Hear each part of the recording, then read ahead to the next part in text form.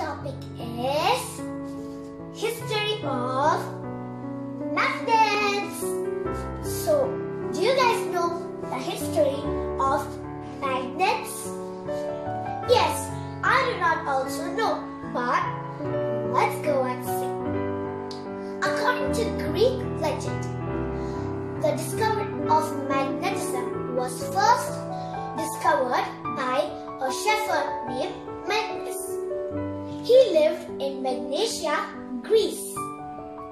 One day, as he was herding his sheep in the mountains, in the mountains, suddenly something hysterical happened. The ferrule of his stick and the nails in his sandal had got stuck to a rock. So the shepherd thought that why is my ferrule of the stick and the nails in my sandal is attracted to this rock?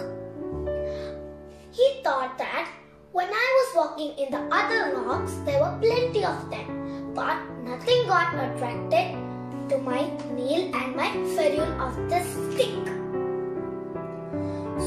the man realized that the rock has a special power that can attract the things. That is called as a magnetic rock. The iron of the stick and the nails in his saddle had got attracted to a rock. The rock was named as magnetite after the name of the shepherd of its country where it was found from.